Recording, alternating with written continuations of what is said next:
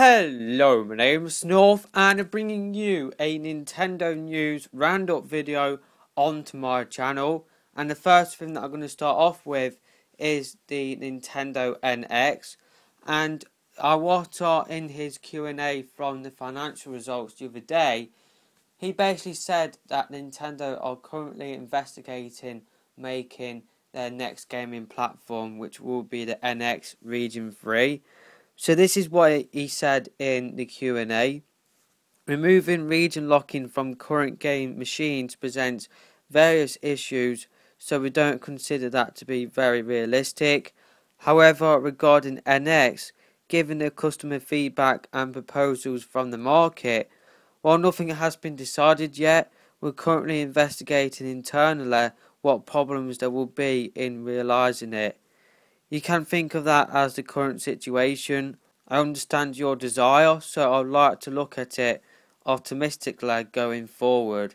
I definitely think Nintendo's next gaming platform should be Region free. I do believe Microsoft and Sony's gaming platforms are Region free, and with the world being more connected as it is, I don't think region locking should be in the modern day world. I definitely think we should be having region free gaming platforms, and I definitely think it would be a really good thing. It, w- it would mean us over in the West getting some Japanese games that you know we aren't getting at this moment in time. So I definitely think Nintendo NX should be region free.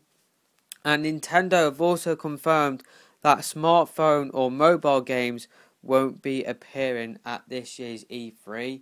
Nintendo said that E3 is for dedicate, dedicated game platforms only, and that is something which I'm really pleased about because it will mean that Nintendo will spend more time talking about Wii U and 3DS games. Remember, the NX won't be shown at this year's E3, it will be shown at next year's E3. So, we won't be seeing the NX in this year's E3, but we will be seeing it um, next year. And yeah, let me know your thoughts about that in the comment section below. Do you think it is a good idea that Nintendo aren't showing mobile games at this year's E3? For me, I think they should do a specific direct for showing off their first mobile game.